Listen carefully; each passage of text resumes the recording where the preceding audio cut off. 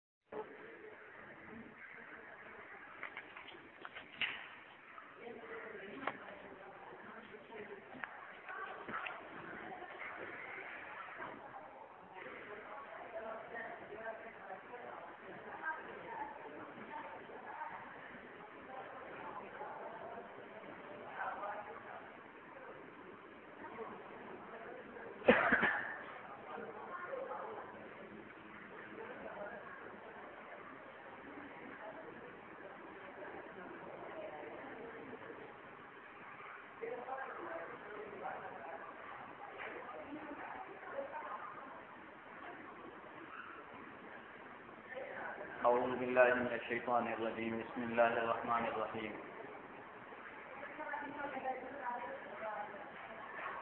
شفقم سلسلة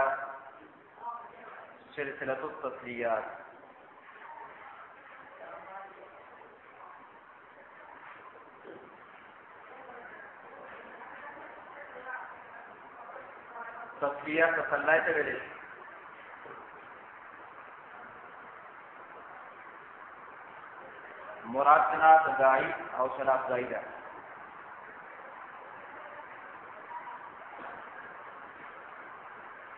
ځکه دای چې کله د دین دعوت ورکړي مخالفینو د طرف نه هغه ته تکلیفونه رسولي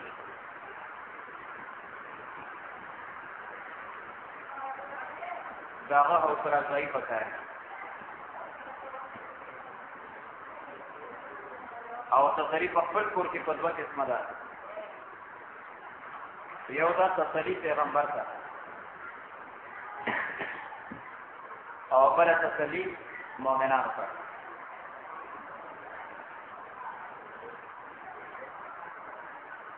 تسلی رسول پاک علیہ الصلوۃ والسلام کا سورہ الرعد آیت نمبر 38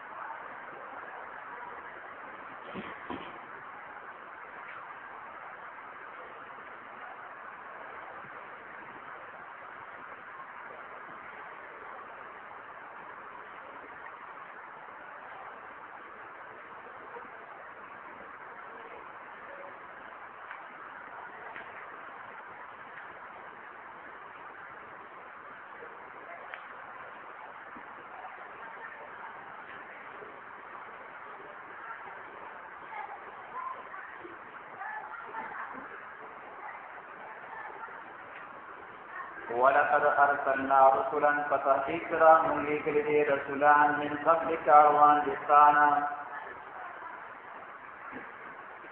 رسولان کې تنوین د فرض تفصیل دی او کله فرض تفصیل دی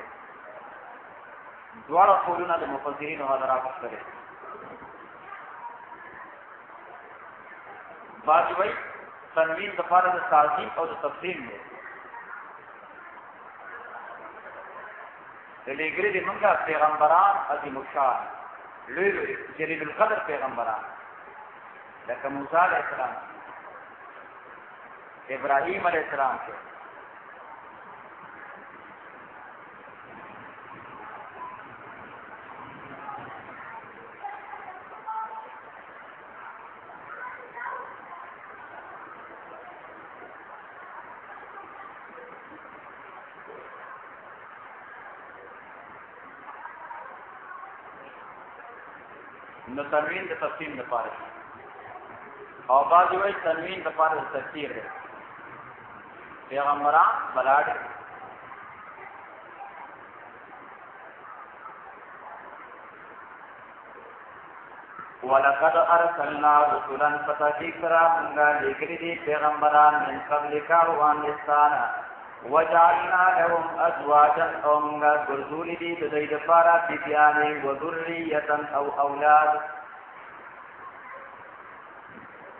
نو کدا اشکال در باندې چې کله پریشان کېږه ما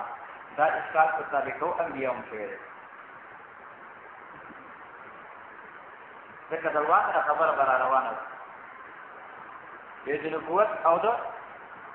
رسالت او د بشریت په میت کې منافات دی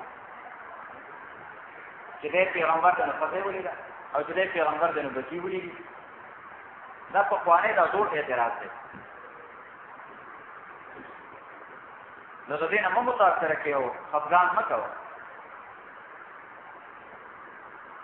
وما كان لرسول او نخارجي د پاره د یو پیغمبر ان یاتی بیاات ذات د راتلو کې په یو معجزې باندې الا باذن الله مگر حکم د الله تعالی باندې د آیت نه مراد معجزه ده اړوانه مې ته آیت په قرآن مجید کې په مختلفو معنی باندې راځي یو معنا کې موجوده ده وما كان لرسول وما كان مقدورا لرسول او نشته د قدرت ته پیغمبر کې ان یاتی بی آیتن تاکل راتلو کې په یوې معجزې باندې الا بسم الله مگر په حکم د الله تعالی باندې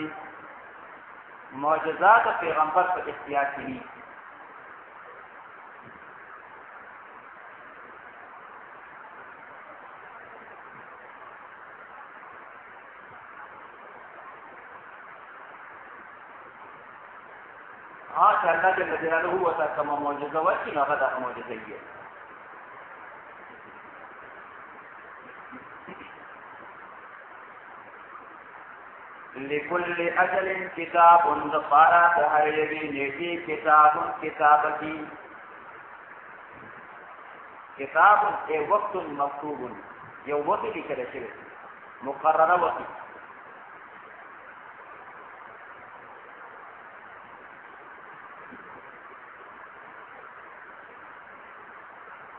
دا په دې اشکالات الله تعالی پیغمبر ته تسلی ورکړي په دې اعتراضات باندې پریشان کیږه ما اے به کته پیغمبر هم تا زمونږه مطلوبه معجزه پیش کړه زمونږ چې کومه فرمایشي معجزه ده دا معجزه مونږ ته پیش کړه پیش کړه کته پیغمبر نو پیغمبر خو پیغمبر حقیقتا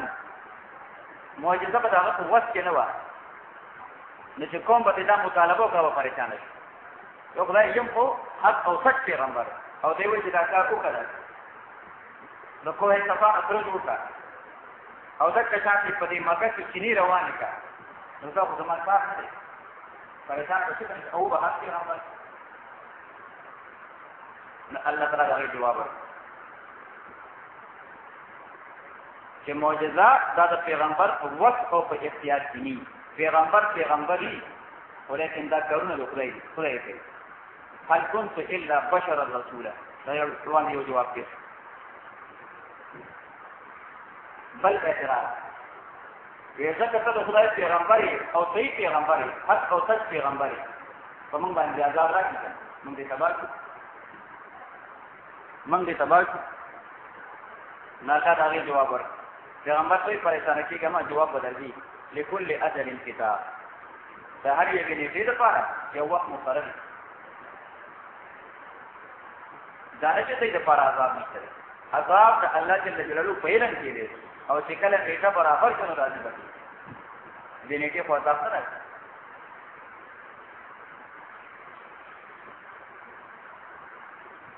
یحت الله مخوکی الله تعالی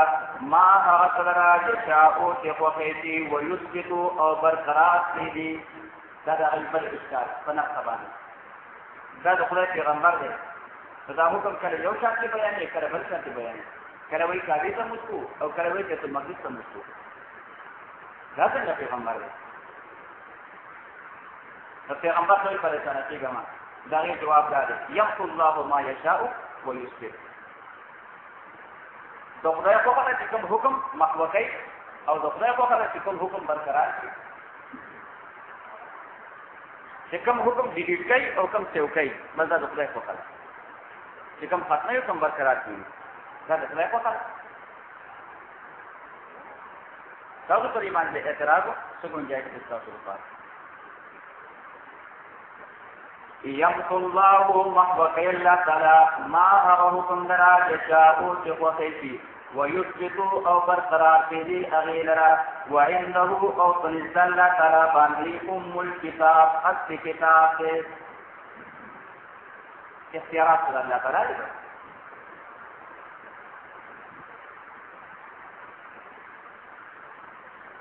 د دغه چې کم اعتراضات وو د هغه اعتراضات وو جوابونه په کتاب الله کې راغلي پیغمبر د مطمئن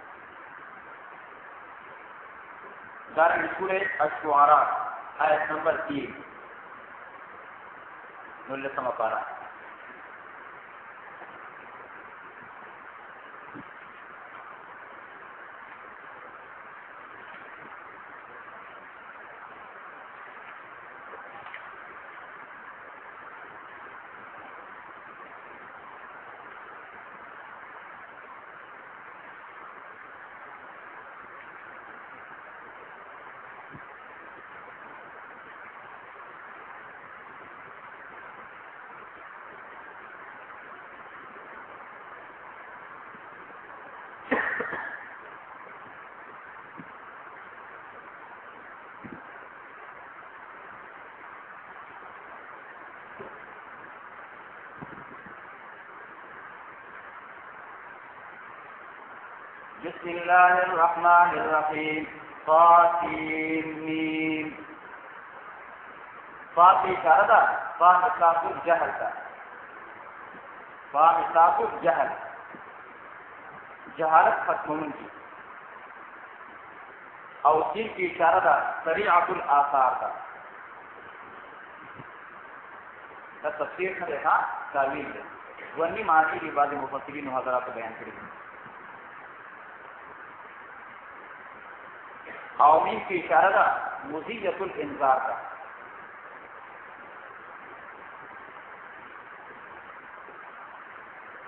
نو دا د قران مجید د آیاتونو صفت ده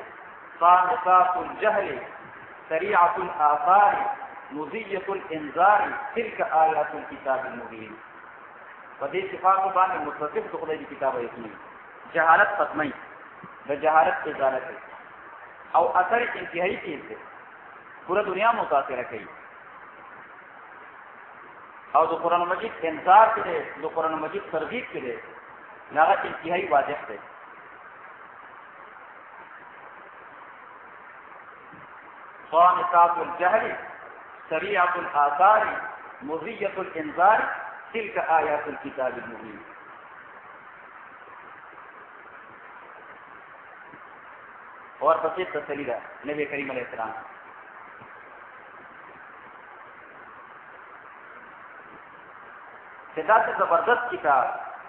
چې د جهالت په ځای کوله او دا چې عظیم الشان کتاب چې طبیعت الاثار دی او دا چې زبردست آیتونه چې موجود پر انذار دي هم خلکو هغه نه تسلیمو په دای باندې به بوج راته که نه راته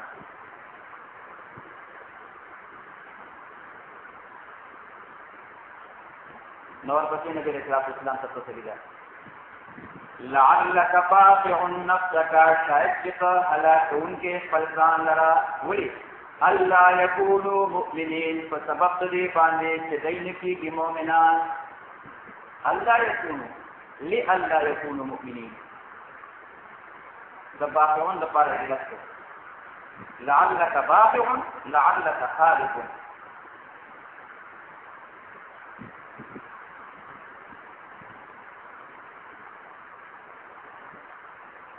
دیو جن باق په هلاکت کې دي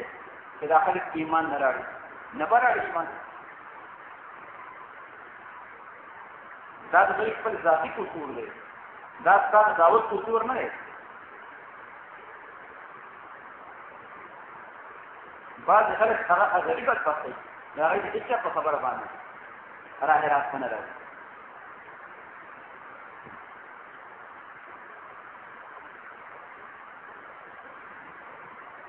او ورپسې هغه خبرې بدبختي ده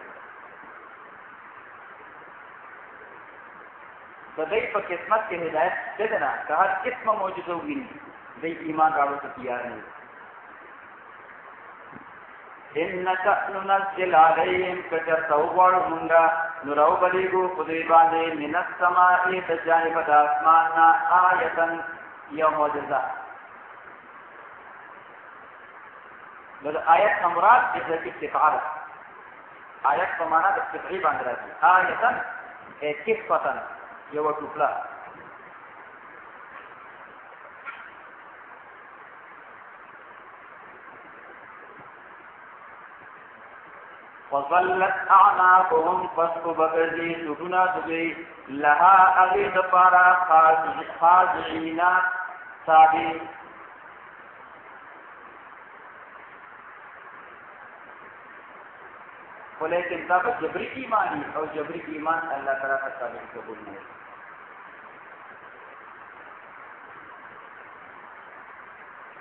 ان نشأ ننزل عليهم ان نشأ ايمانهم جبرا ننزل عليهم من السماء آية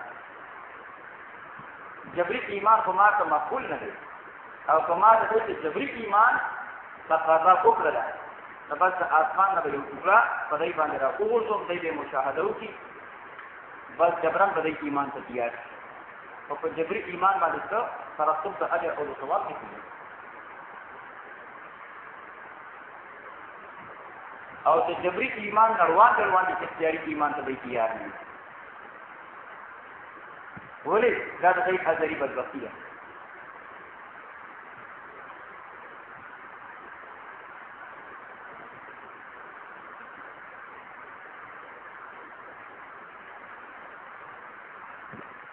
نو بس پیغمبر ته پوره حالات مخې ته راغلي چې په کومو خلکو باندې مهر د جباریت لګېدلی دی او د الله جل جلاله د علم مطابق هغه ایمان سره راتلو ولري بس هغه باندې حسرت او افسوس په ضرورت کې کوي بس هغه کوی ته کاری کوی زما ذمہ داری د حق بیان دی د ایمان دعوت دی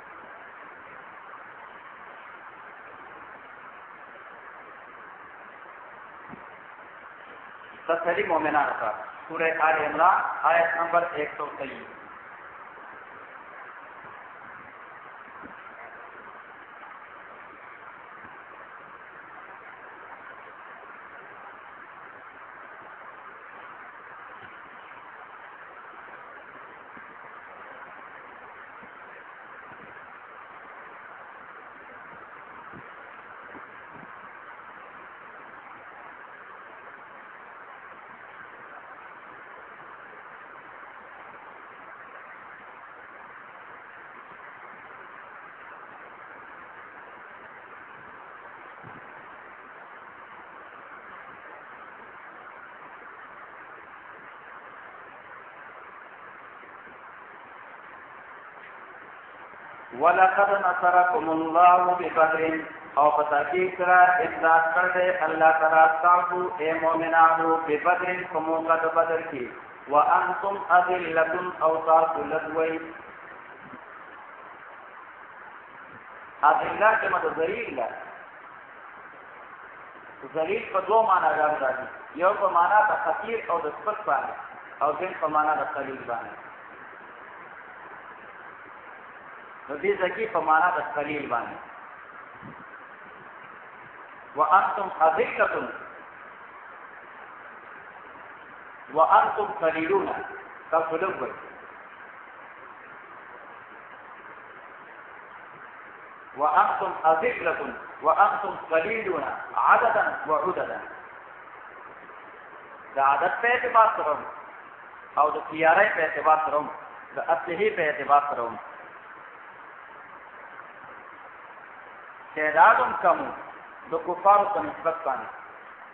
او اسلحه هم کمه وه د کفارو په نسبت باندې ځکه د بدر په جنګ کې د کفارو تعداد دا تقریبا زرو او د مسلمانانو تعداد 313 نو کفار تقریبا یو په درې باندې کې وایي هغه یو په دریو او د اصلي په اعتبار سره هغه یې خپل لري شو پوری وسره دي او څونه وسره وو غټي وسره وو لنګي وسره وي برابر او د مسلمانانو سره دغه 313 کسان شو د دې سره زیات زیات فرق غوري او اته وسره کړی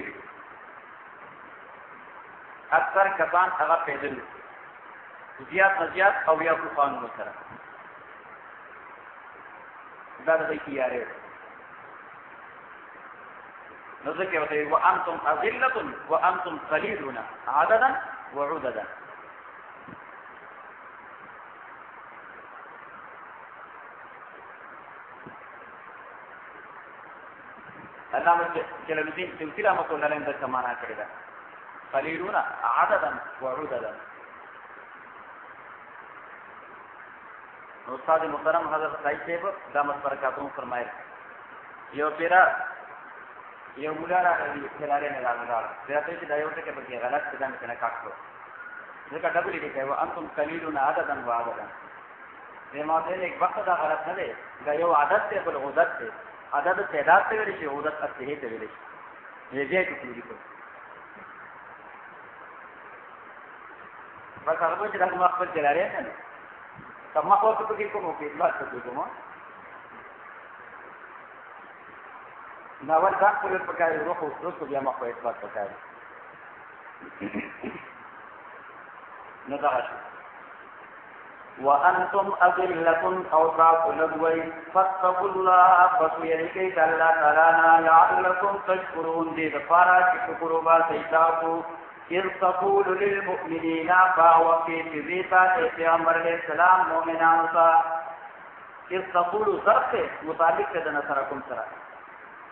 الله تعالی سره امداد په کوم وخت کړو ولقد نصركم الله ببدر اذ تقول للمؤمنين فدک وخت سره خدای امداد کړو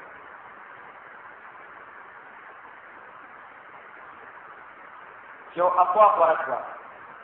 چې د کفارو د امداد لپاره نور کفار را ورسېدل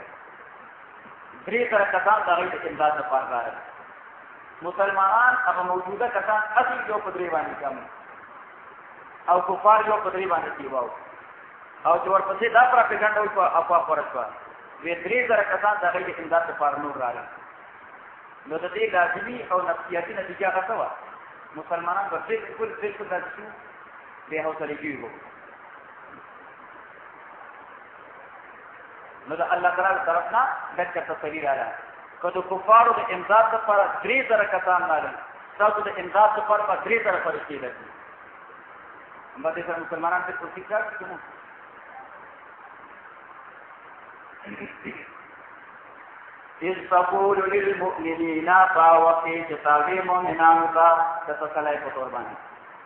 الم یکفیکم آیا کافی بنی دی ستاسو لپاره ان یمدکم دا چې امدادو کې ستاسو ربکم راستاسو بثلاثه آلاف فدریو سرو کسانو باندې من الملائکه د فرشتونا منزلین کرا حضور بشی د مشرکین د پاره په د مدینه امداد راځي او تاسو د امداد لپاره د اسمان د فرشتي راځي نو بس دا لري راځي کنه سی وایي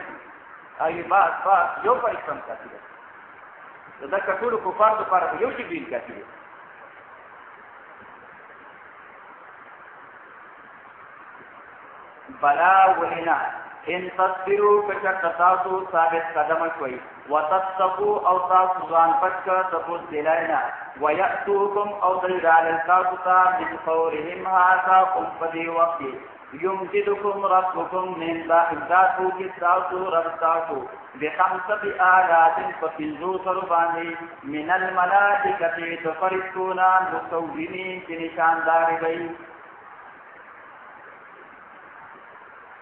نو دا بیا ورپسې لږ ساعت پس یو بله پراپګنډه وشوه او بله افوا خوره شوه وې د کفارو د امداد لپاره پنځه زره کسان نارې را روان دي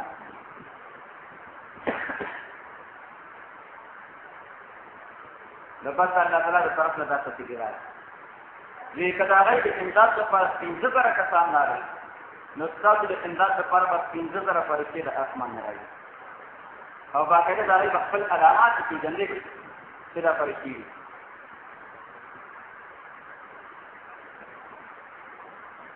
د صبر نه مراد دې ځکه ثابت قدمی ده استقلال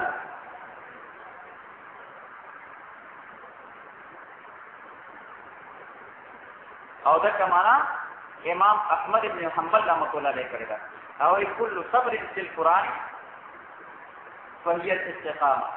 قران مجید کې صبر راځي نو دا په معنا د استقامت او د استقلال راځي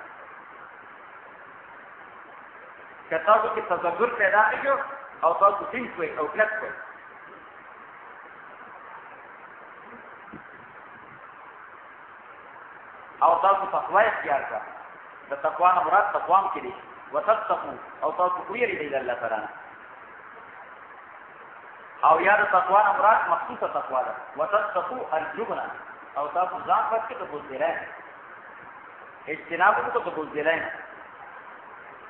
سب تو جرات نہ کار بارو او بل ويأتوكم من فورهم هذا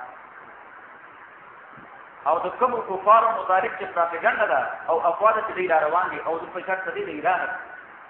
نبي هغه کی يمددكم ربكم بخمسة آلاف من الملائكة تاسو د امداد لپاره به پنځه زره فرښتې لرئ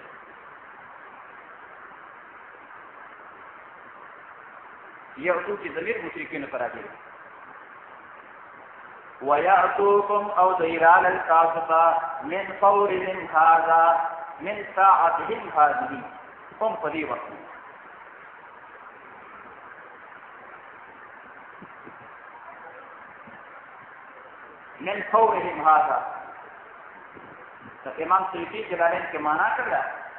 اے من وقتهم هذا هم په دې وخت کې په لفظي معنا څخه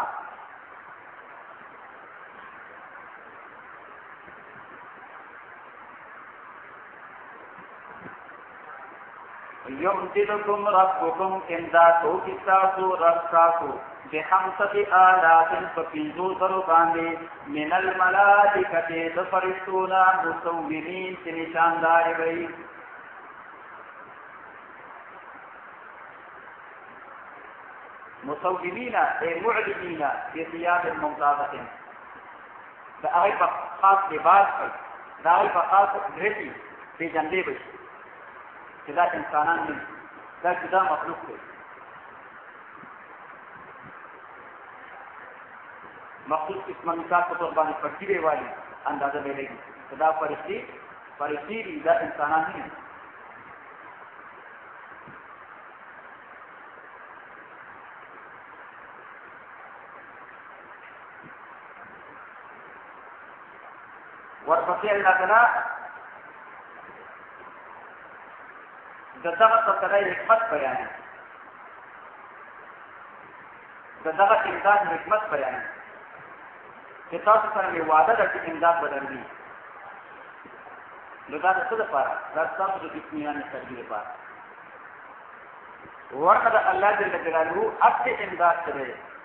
نو هغه په فرشتو فرشتو باندې موجود نه دی بغیر د فرشتو د لیګلو نه الله جل جلاله مؤمنانو ته کامیابی ورکول شي فتح ورکول شي خدا چې د ظاهري اسباب مطابق تاسو کې جوړیږي وما جعله الله او نه دې ګرځولې دین تا تر الله تعالی الا بشرا لكم مگر یو زیر تاسو د پاره او بل ولتطمئن قلوبكم او دې د پاره چې مطمئن شي ټولنه تاسو به په دې باندې ومن نصر او نه دې اصل امداد الا من عند الله مگر د جانب الله تعالی اصل ممت او اصل معاون هغه ذات تبارک تعالی دی فرشتي نه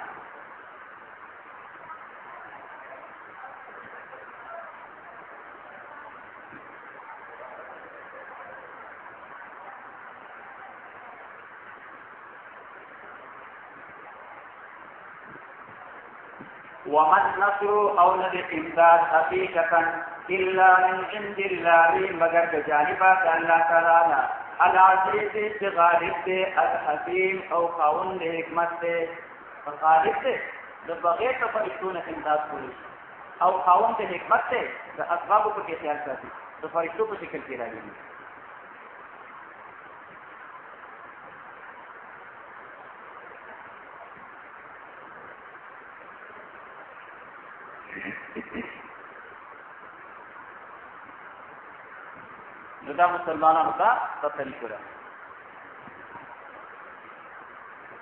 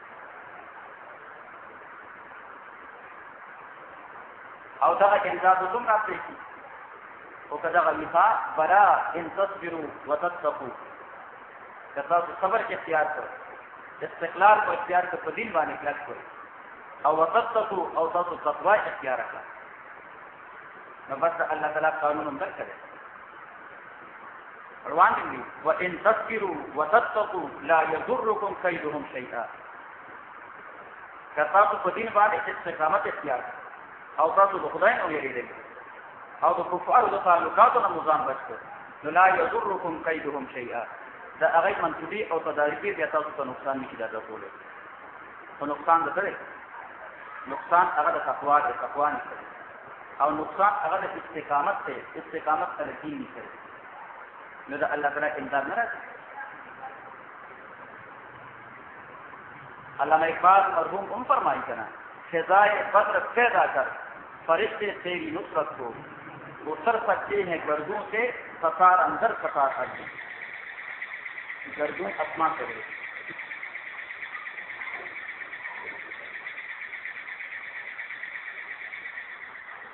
خدای بدر پیدا کر فرشتے تیری نصرت کو سنن بدر پیدا جوڑا تھا هغه شان چې تقوا اختیار کا هغه شان چې ایمان اختیار کا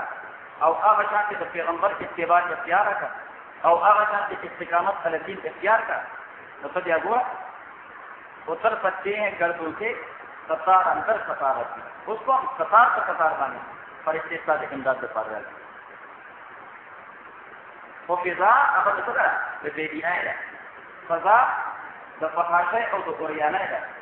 او فضا هغه د فسق او فجور ده او د دین نه د بعد ده او غواړي چې بندا سره د ابوبکر او د عمر په شان کیږي نو دا څه څه کیږي جن کومه خبره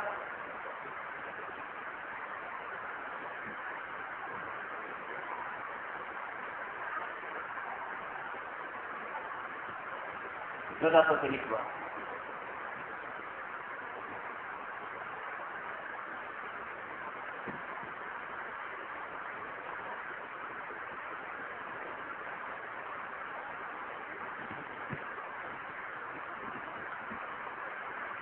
بیا په دې آیتونو کې وظایف تعارف نه ښکاري سورہ انفال وګورئ سورہ انفال 9 نمبر آیت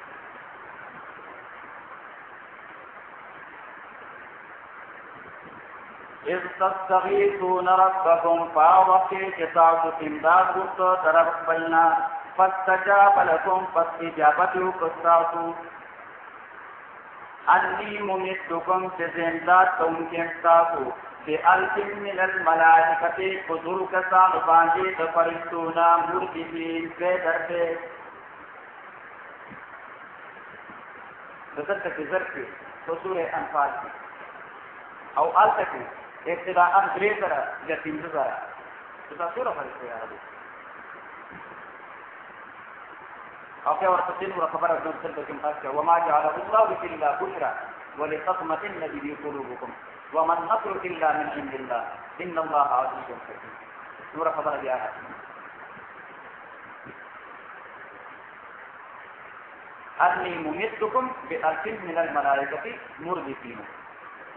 ارداف هغه تسلسل ته ویل یو بل پسې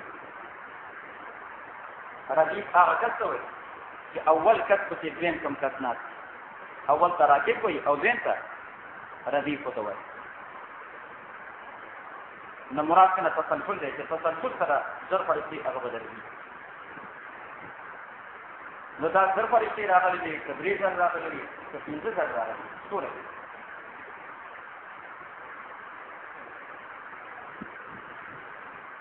نو د دې نه جواب راغلی چې یو نثر بالفعل دی او یو نثر معلق دی مشهور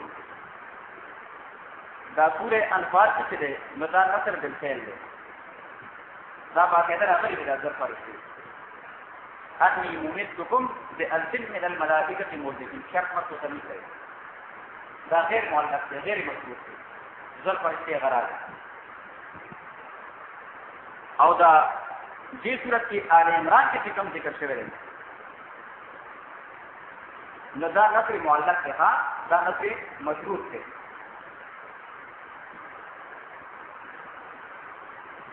د کورس ابن جابر متعلق چې کوم ابوا خور شوی و چې هغه روان دي د مشرکین مکه او د امداد لپاره نو اول دا ابوا خور شو چې دریو زرو کسان سره روان دي او بیا دا ابوا خور شو چې د پنځو زرو کسان سره روان دي د تک نصر معلق دی دا د کوم ځای نه ويأتوكم من فورهم هذا تراوره کېږي نو که د هغوی د امداد لپاره دغه کسان راغل چې د چا مطالق خطوا ده د بیا زما د طرف نه به امداد درکړي نو دا نصر معلق دی او سورې انفال واره هغه نصر نصر بالخیر دی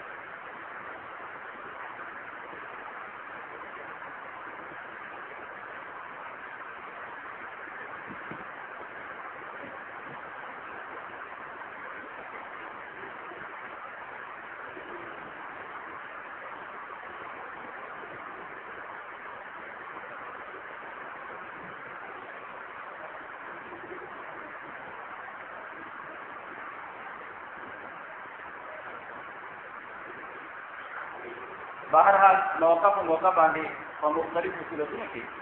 مضمون د تسلی هغه به ذکر کیږي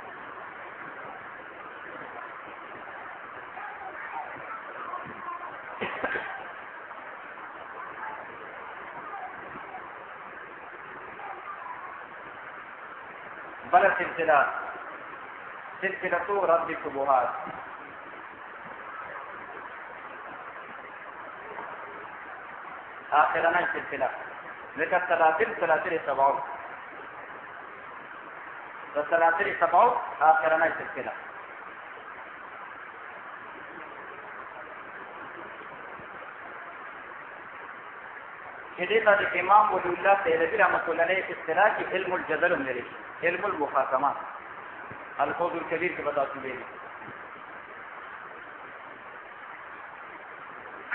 قران مجید هغه مخاطبه کوي د سیرت باطله سره خصوصا د سیرت اربعه باطله سره چې مشرکین دي يهود دي او نصارا دي او منافقین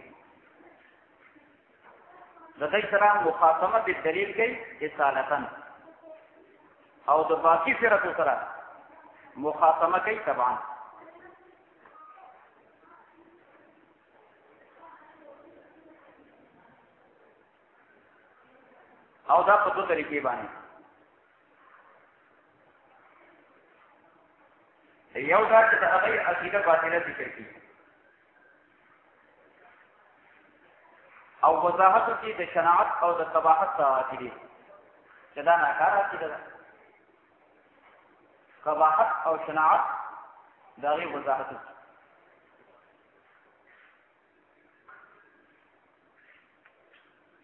او په مطلقه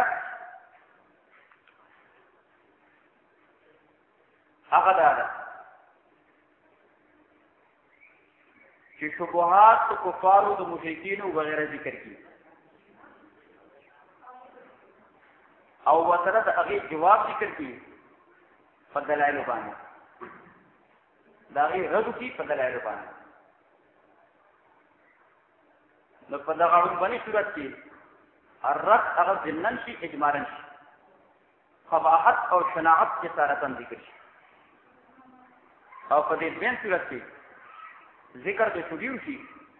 او بیا د هغه رد شي په دلایل باندې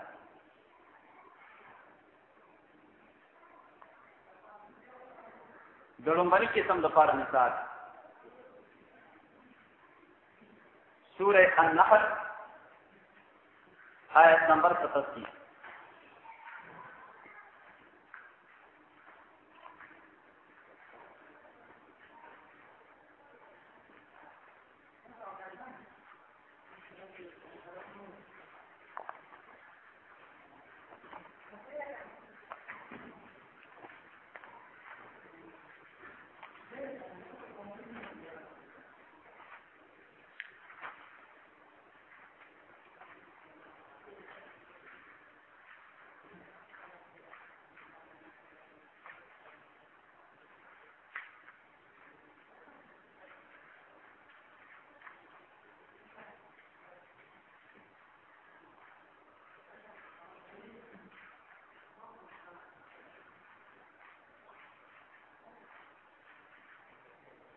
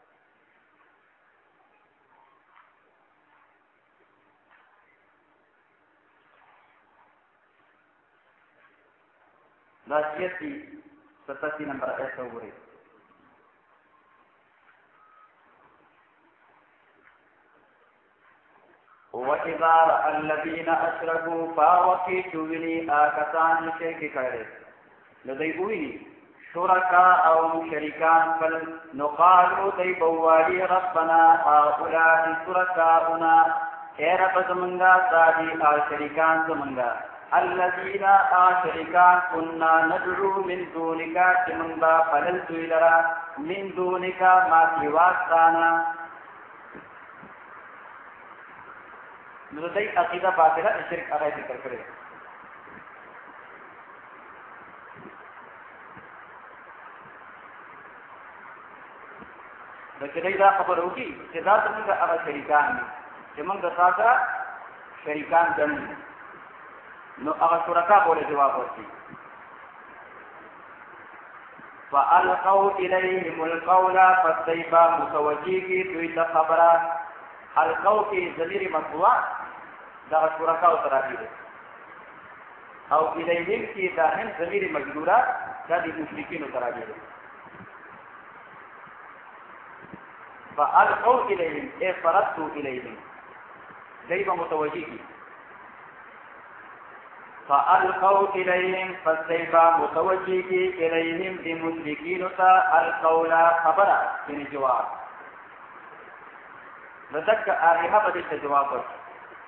انکم لکاذبون بشک تاسو دروغ جن یی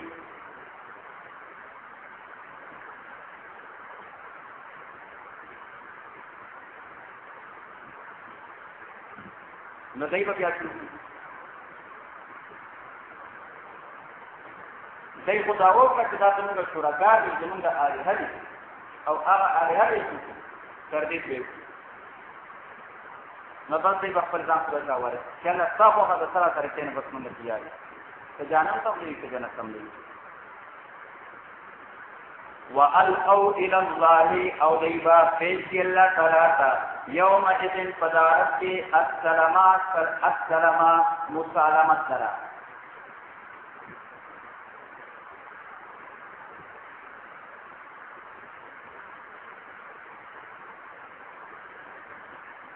دا سلام نه مراد السلام للعذاب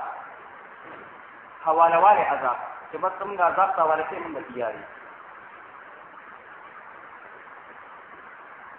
وظل عنهم او ربجد دوینا ما کارون یفترون آج دیت افتراقولا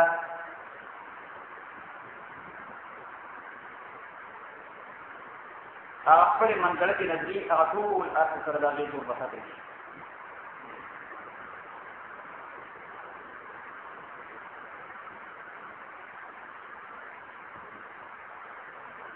نو عقیده باطله هغه ذکر شوه ما صنعت هغه ذکر شو او د دلیل په بنیاد باندې د هغې تردید ونه کړو نور ځایونه کې شته دی دې ځای کې نشته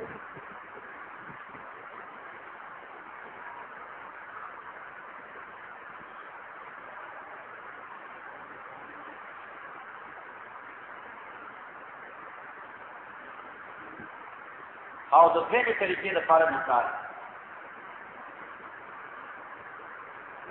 چې د دې کومه به بنیاد شوی دا یې ذکر کی بیا دا یې جواب په دلیل ذکر کی سورہ انعام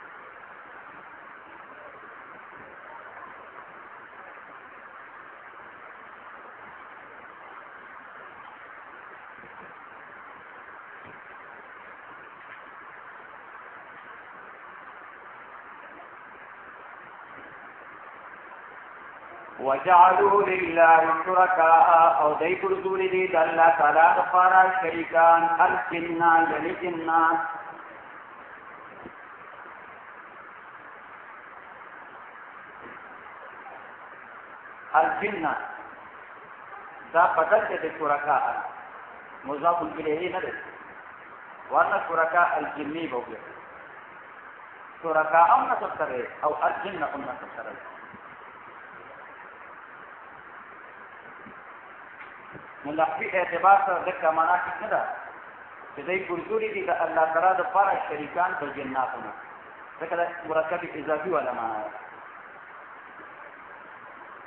دای ګرځولې دي د الله تعالی لپاره د صدا یعنی جنات دا ولې صدا کړی دا بدلیت ولا معنا ده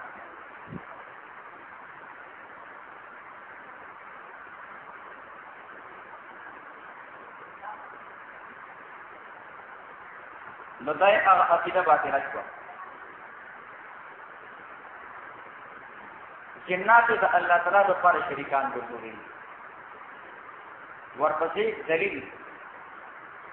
دا عقیده او دا نظریه غلطه ده ولی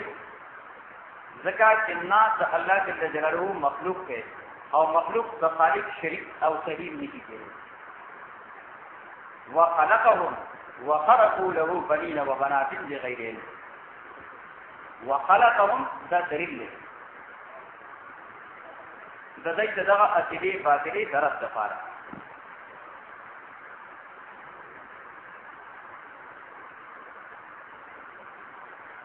خالق ته خالق برابر کېدی شي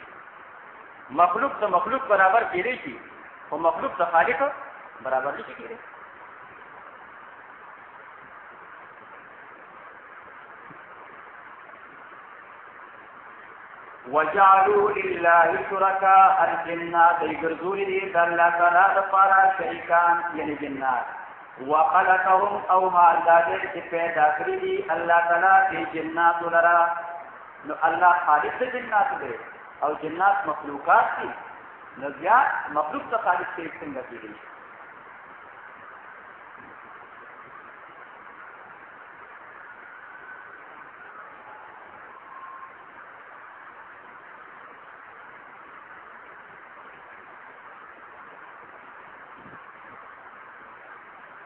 نو دا بیان د عقیدې باطلې وشو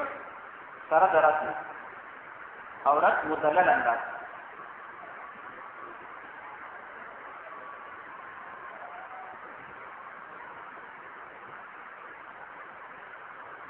ځکه دا دلیل عقلی دی د خالق او د مخلوق په میت کې فرق دی خالق د مخلوق مساوي نشي کېدی مخلوق د خالق مساوي نشي کېدی یو مخلوق د بل مخلوق مساوي کېدی شي او چې تعدد د خالقینو فرق کوي چې خو نه تعدد د خالقینو خو نشته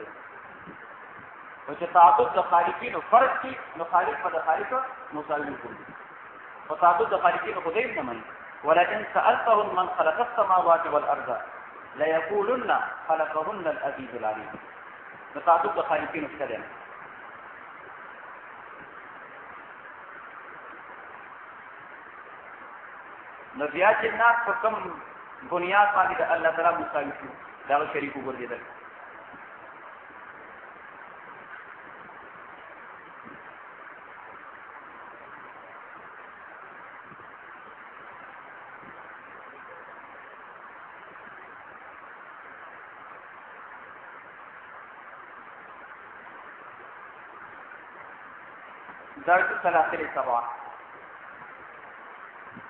ورپسې بل اهم بحث وقت القلوب د قسمونو بحث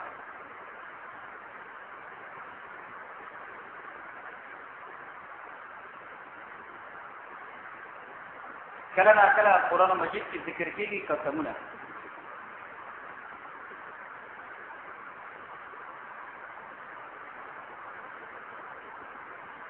او مقصود د قسم هغه تاکید خبري یا خبره مقصود شي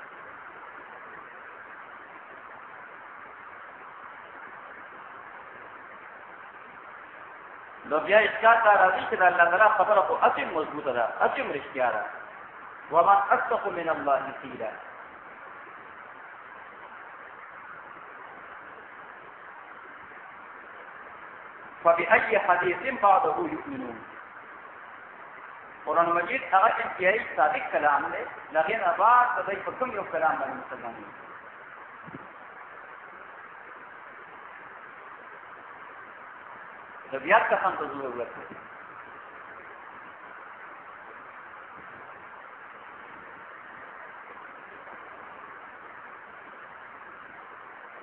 د قرآن مجید په تمونه کې دي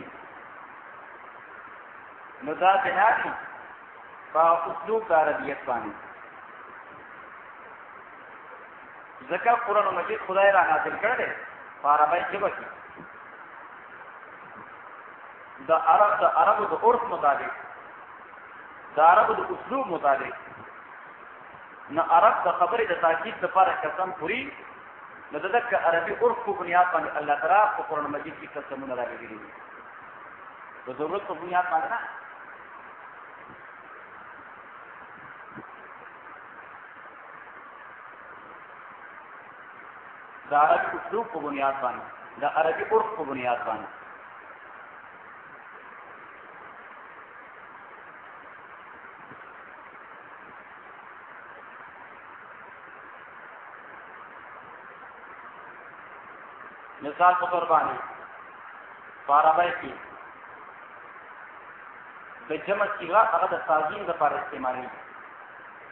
د جمع صيغه د څه لپاره استعمالي د تعظیم لپاره استعمالي په نورو کې کوم داسې کېږي په پښتو کې دا قانون جمع تعظیمي هغه په کې سره په پښتو کې مثال په تور باندې سړی مرګري ته خبره کوي نه یو شانتي انداز او استاد ته خبره کوي بل شانتي انداز چې مرګري وایي سارا په داسې ویلي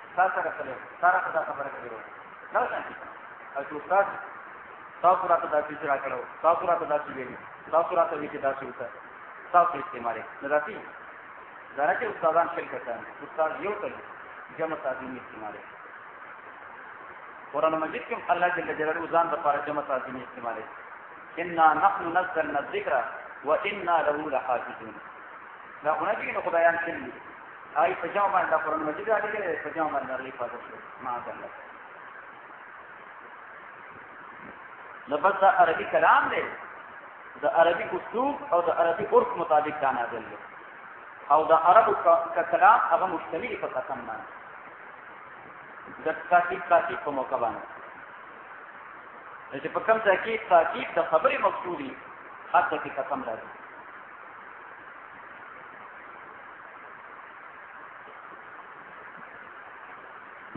او بیا قسم چې دی نو هغه په څلور قسمه باندې او دا ضروري بحث دی قسم په څلور قسمه دی یو دا چې په کوم شی باندې قسم خوري چې مقسم به وته ویل شي د په هغه مقسم به باندې څه احتیاط اعتقاد د علم غیب دی او داغه متعلق څه اعتقاد د تصرفي او دارنګه د اختیار کلی چې د متصرف په امور دی او د مختار کلی او د عالم الغیب دی دا قسم قسم خاص دی د ذات تباری تعالی سره او که غیر الله دی عالم الغیب وګڼو هغه د متصرف فی الامور وګڼو او هغه د مختار کل وګڼو او هغه د قسم کو پړو نو دا بیا په شرک کې راځي او په کفر کې راځي دا ناجایز دا چې کوم قسم دا د الله جل جلاله د ذات سره خاص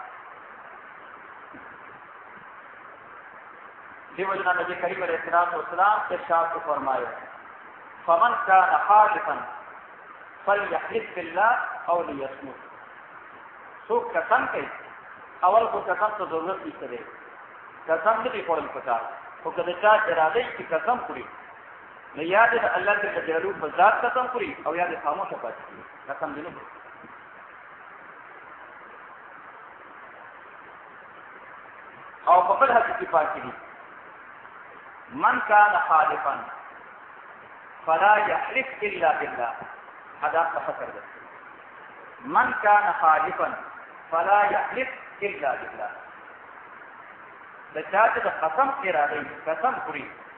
نو د خدای د ذات نه دی علاوه په بل څه شي قسم نه کوي خطر دی روایت ته مسلم دی صفحه 46 جلد 2 حضرت قریبه رسول الله تعالی عنہ فرمایي چې یو کلی نه ووري دل هغه قسم کو نو تاسو به لا والکعبه نه دا څنګه ده زمانه په کابه باندې کتل لا والکابه چا سره خبره کوله دا څه چې څنګه وایي دا څه خبره ده والکابه زمانه په کابه باندې کتل نو عبد الله بن عمر رضی الله عنه په دغه موقع باندې تشریف فرماو نو هغه ته وی لا تخلق بغیر الله د الله جل جلاله د ذات نه علاوه په بل څه شی باندې د قسم ګنجای کی کړي لا تخلقو بغیر الله او دا ویل فإني سمعت رسول الله صلى الله عليه وسلم يقول ځکه ما د نبی کریم علیه الصلاۃ والسلام نه اوریدلی دي ارشاد فرمایي من حلف بغیر الله فقد كفر او اشرك دراوی شک دی او د شک لپاره من حلف بغیر الله فقد كفر او اشرك دا چې د الله تعالی نه مارتوا په غیر باندې قسم کو خوړو نو د کفر کو یا د شرک کو نو د الله جل جلاله د ذات ته علاوه په بل شی باندې قسم خوړل او د ذکر د په بنیاد باندې غیر الله تعالی عالم الغیب دی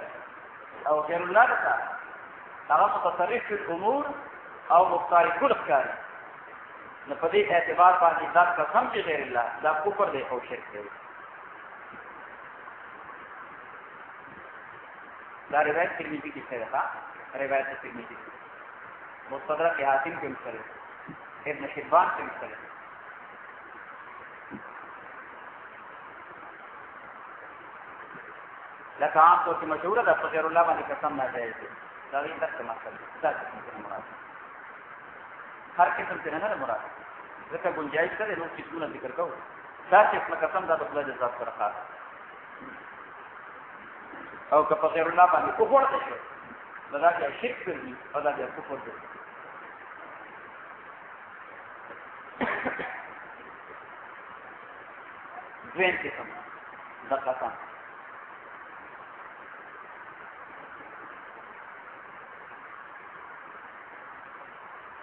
چې مقسم به ذکر کړی شي د استشهار په تور باندې او د دلیل په تور باندې داغه مطابق دا اعتقاد د قائل نه چې د عالم الغیب دی او د متصرف الامور دی او د مختار کل دی دا اعتقاد دی مطلب تایید په تور باندې ذکر کوي نو دا خپل تداوی ته خبرې هغه څنګه تور غواړي نو د تایید او د استشهاد په تور باندې هغه مستنبلی ذکر کوي د دا قسمه قسم په غیر الله باندې دا جایز دی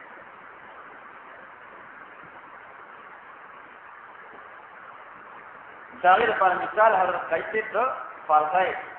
یو شعر هغه ذکر کړو شاعر وای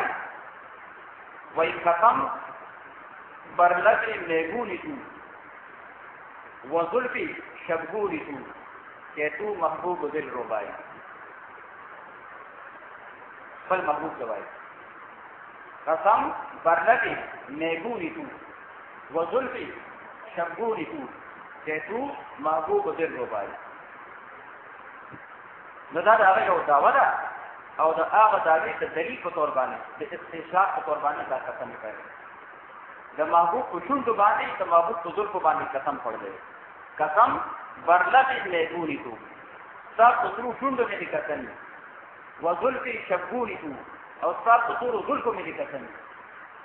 غیر الله کتن څه کنه خدا قائل مشرک نه دی ولی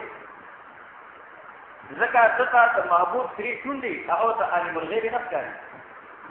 او هغه ته متصرف الامور نه ښکاري او هغه ته مختار کل نه ښکاري او د محبوب تورې ظلفي دا ته عالم الغیب نه ښکاري او دا وته متصرف فی الامور او مختار کل نختاری لأن مرة خبر او قسم تقول لي ندا قسم شیخ مری دا د استشهاد په تور باندې ذکر کړی استشهاد په څه باندې کوي ورپسې وایي څو محبوب غیر وایي وایي ستا دا درې ټونډې دلیل د دې خبرې چې ته محبوب یې او ستا دا تورې زلفې دلیل د دې خبرې دی چې تا کې محبوبیت څه دی دا هغه محبوبیت ثابت دی اثبات ته محبوبیت دا د غیر دعوت وا او د هغه دعوی لپاره څه دلایل پیش کړل یو د محبوب سری شونډي او بل د محبوب تورې ګلفي صحیح وکړه نه دې سره هغه مشرک نشه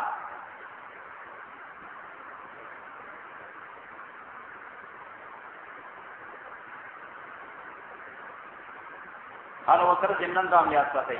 په قران مجید کې چې عام طور کوم حروف ذکر کیږي قسمونه ذکر کیږي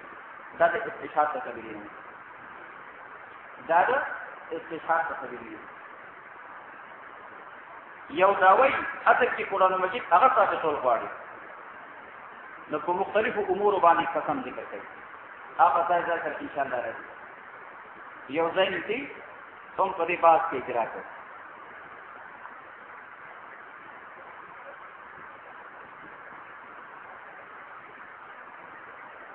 دریم قسم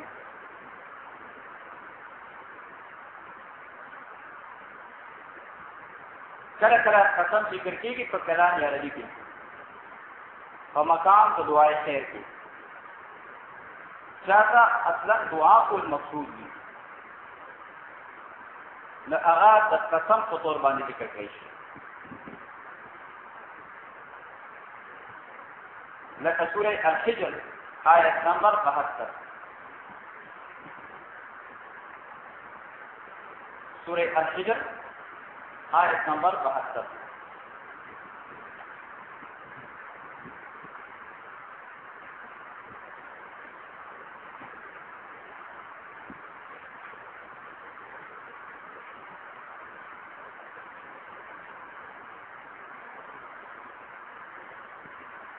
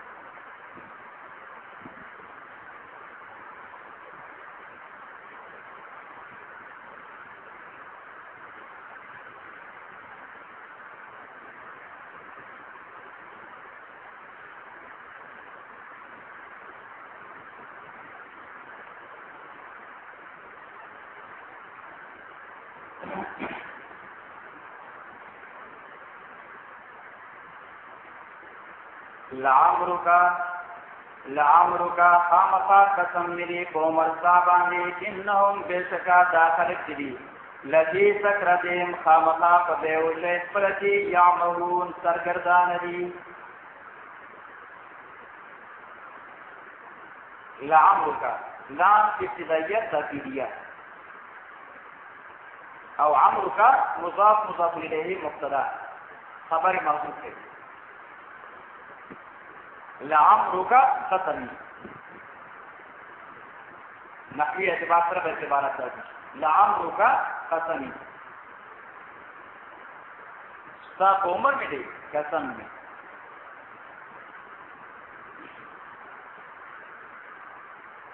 فارابای کې دوا د ذکر کیږي نو عمر د فارا یو عمر عمر په زمي د عین باندې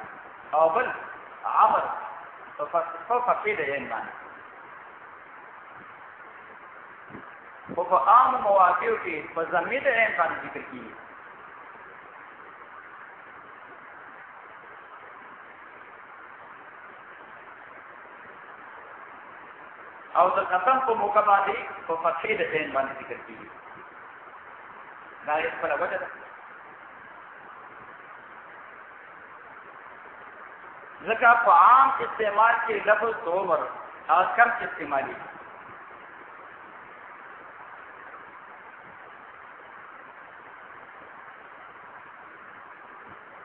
او قسم چې دی لدا کثیر استعمال کړي عرب زیات کر استعمال نو کثرت استعمال آ تقاضا ته کوي د خفت کوي فتحه هغه خفيفه او لفظ د عمر چې دی نو هغه کثیر الاستعمال دی بلکې ته موقع په موقع باندې استعمالي نو هر څه کې په زمي باندې نو څه کبا هر څه کې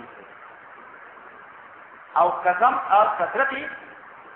کثرت سره استعمالي کثیر الاستعمال دی نو هغه تقاضا ده خفت کې او خفت په پخې کې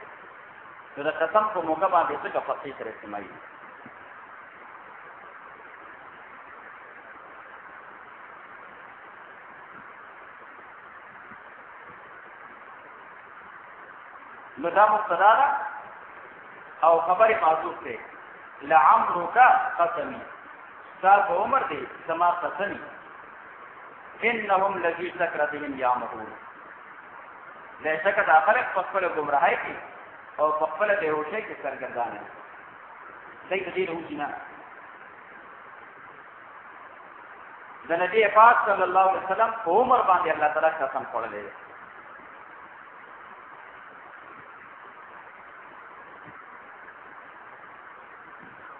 دا مقام مقام د دعا دی په مقام د دعا کې په غیر الله باندې قسم خورل هغه جایز دی ځکه چې غیر الله کې نو هغه عالم الغیب بشي ګڼل په داسې موقع کې او متصرف فی الامور او مختار کل هغه نه ګڼل بلکې هغه ته دعا کول مقصود دی نو په دې ځای کې د نبی کریم علیه الصلاۃ والسلام عمر ته دعا ده لعمرک نو قیس به معنا کوله خدای دې عمر برکتی کا لعمرک خدای دې عمر برکتی کا دا معنا او حقیقت دا دی د نبی کریم علیه الصلاۃ والسلام په عمر کې الله جل جلاله خیر او برکت ورکړي او دا غي دلیل دا دی چې نبی کریم علیه الصلاۃ والسلام د نبوت په درویش کال کې څومره کار کړل دومره نور خلک په درویش سو کال کې او په درویش زره کال کې دوه کار نشي کولای د نبوت دور هغه درویش کال په درویش کال کې چې نبی کریم علیه الصلاۃ والسلام نه الله جل جلاله کم کار هغه کړی دا کار نور خلق په دروي سوا کاله کې بلکې په دروي زره کاله کې نشي کولای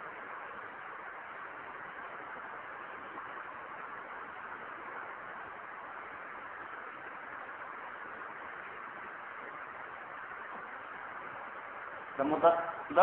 حاجب مصدق پای کې مو ویل دي کنه و بجلی کا کړه تا یا سو تهادي عرب کی زمین جس میں ساری گلاری بالکل قرن قرن د نبی کریم علیه الصلاه والسلام خبره به پرې ده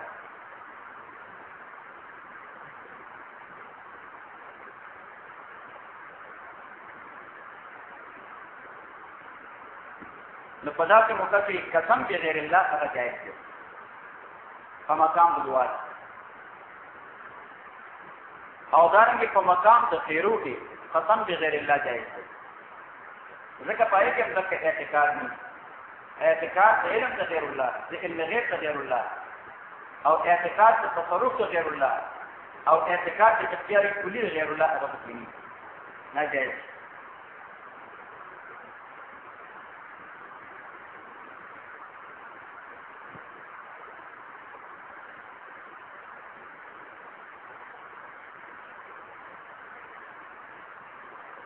دا غیر لپاره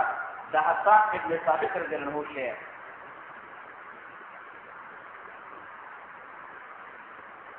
خو د شعر اړوان دي دا مقدمه په ذهن کې ساتئ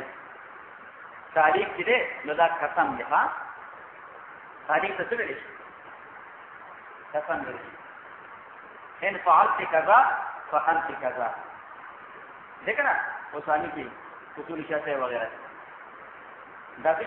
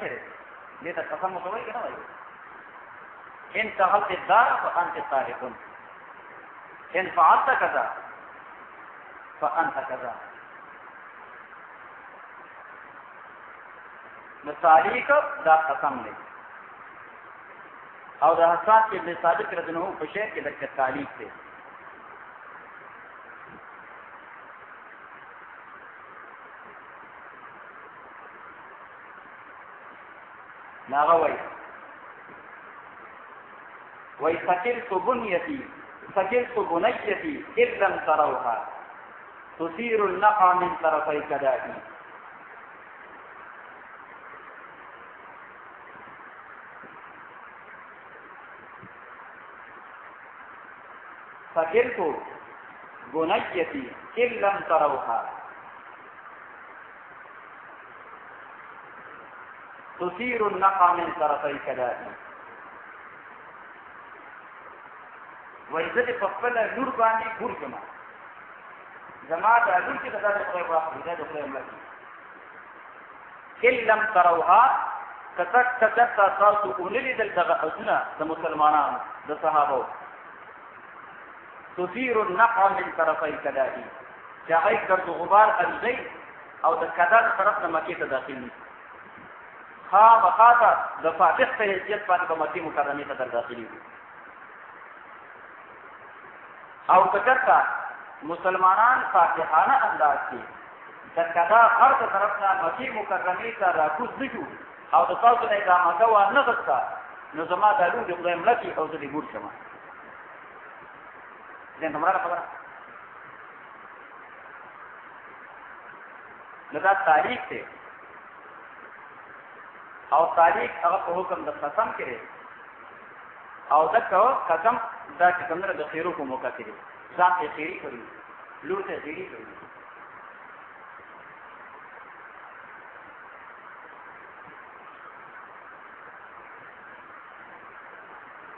دا څلور قسمونه دي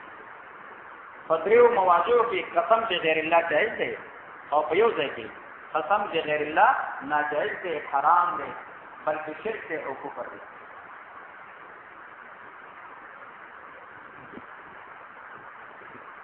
بیا د قرآن مجید قسمونه هغه د کمې کبیرې نه دي مې هغه د استشهاد د کبیرې نه دي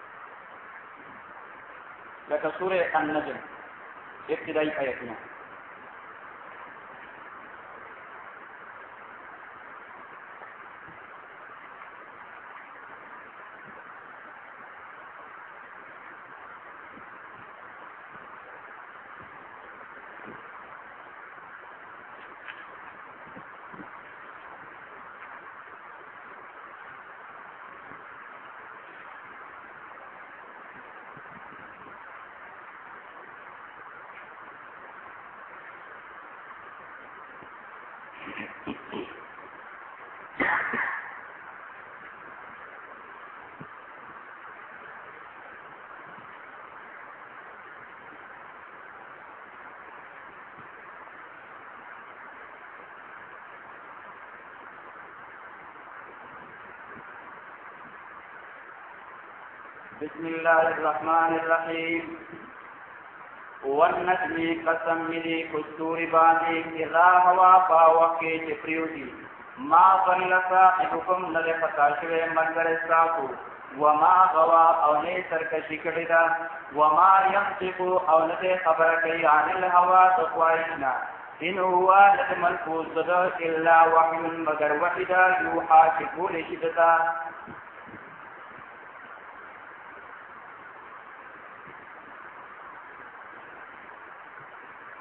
نو واو قتل یې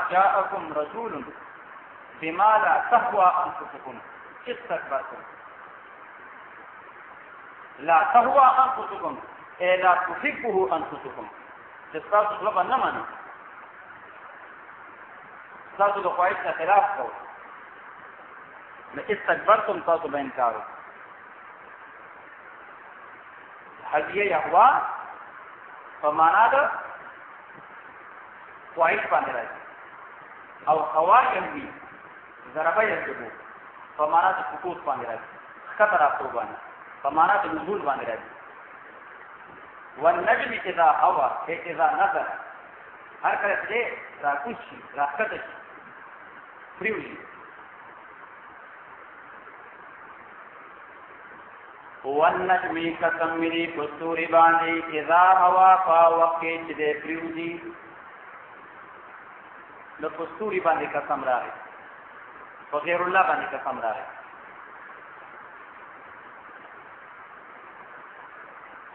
نتیجه کې دا قسم د استشهاد په تور باندې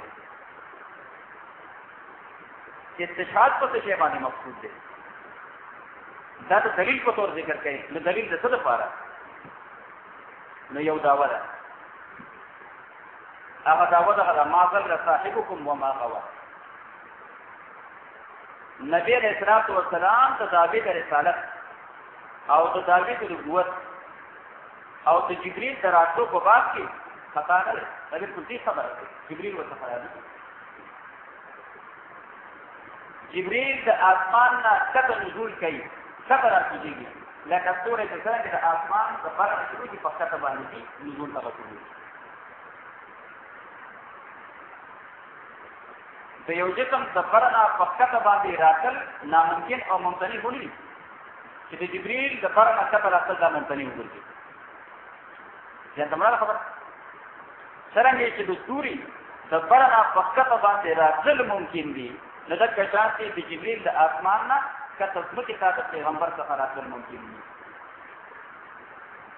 استشهاد څه کوي دې طریقې سره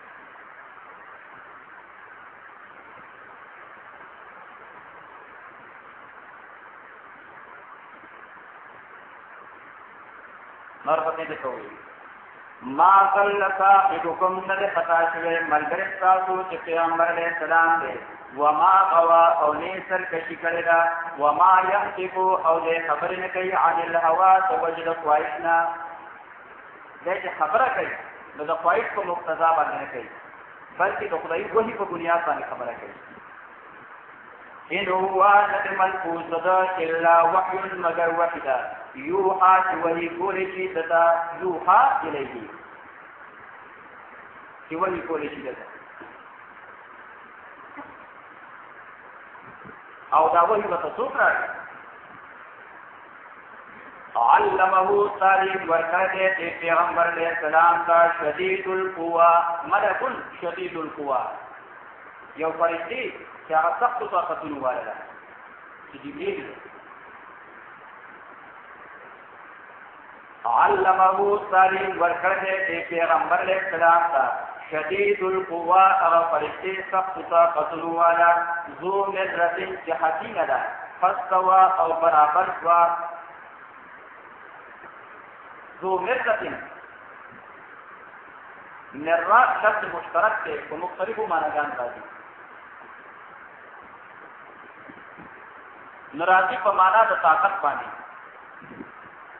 ذو قوت نو دا په تاکید کې د ما قبل لپاره شدید القوا لپاره او مرا دا راځي په معنا د قامت باندې ذو مرتن ای ذو قامت ډیر دم قامت والا ده ډیر دم ده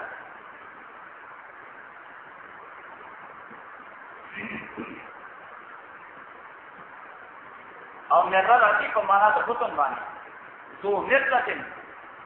ذو حسن حسن والا په فرشتو کې حسیره فرشته ده ښکلې او ښایسته فرشته ده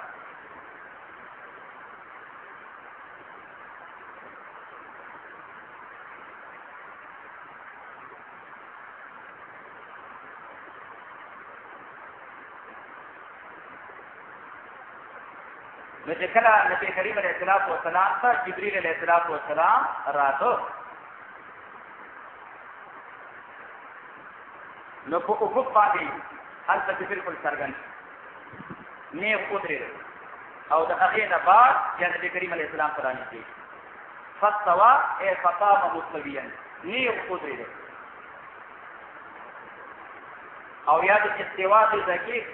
حاصل معنا او لازمه معنا مراد ده نه خود دې نو معنا څرګند د اسمان نه راکته چې تر څو پورې د اسمان په حدودو کې نبی له اسلام ته لخرې خو چې څنګه د اسمان نه راکته شو نو په ظهر څرګند فاستوا فظهر له کارج نبی له اسلام وهو او دغه جبريل چې وو کې الافق الاعلى ته وو په کناري کوڅه باندې بالکل د اسمان سره لګېدل ثم دنا پیارا نږدې شو فتدلى راوان شو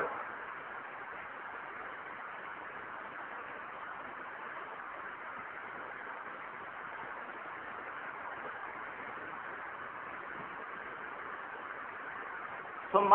د مجرد تاکید لپاره ده دا نه چې اول رانږدې شو بیا ځوان نه تدلا ثم دنا را ځوان شو او بیا رانږدې شو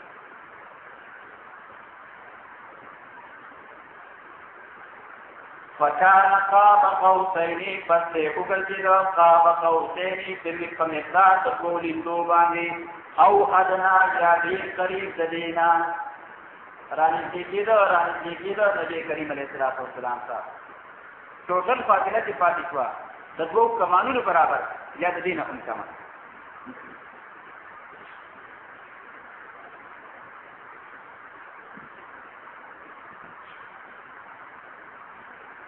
نو دې ځکه قسم هغه د استخار لپاره شي چې د جبريل عليه السلام نزول د آسمان نه ځمکې ته پیغمبر څخه دا ممکن دی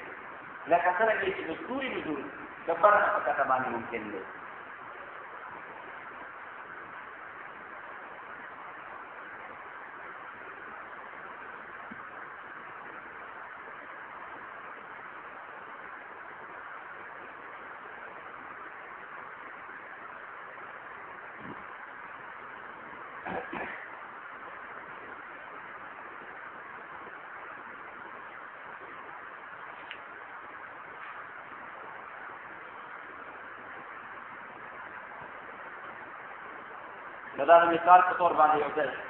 نور خپل خپل ځایونه کړه ان شاء الله دغه طریقې سره دا اوس ته مونږ حل کوو اجمالا کولی کې چې کوم کوم مشکلونه کې دا اوس ته مونږ راغلي د استشهاد په تور باندې سورہ النجم ابتدائی آیتونه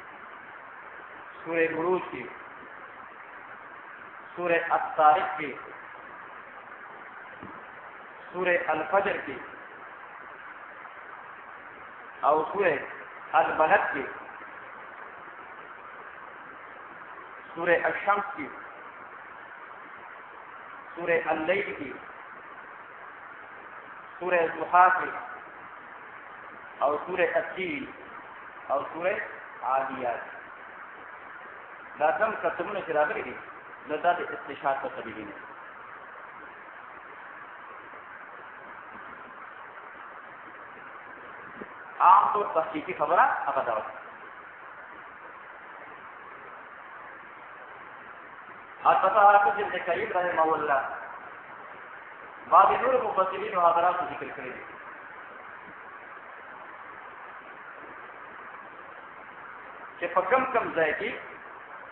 قسم په غیر الله باندې نو هغه ځای کې با عبارت په حضرت باندې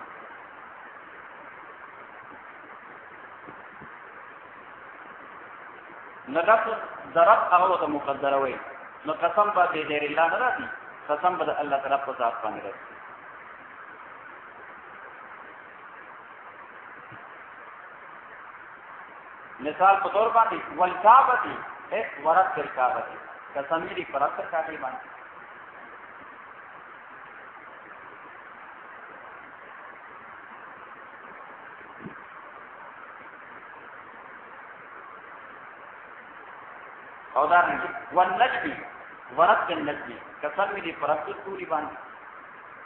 عبارت فاضل ته مضاف مضاف ته مقدر وي لفظ ضرب والشمس وضحاها ورب الشمس قسم دې پر رب دنور باندې والقمر ورب القمر او قسم دې پر رب د قمر باندې مکای ته په فرمایلی په دا خیر دی راځه هر ځای کې دی اته په مضاف کوي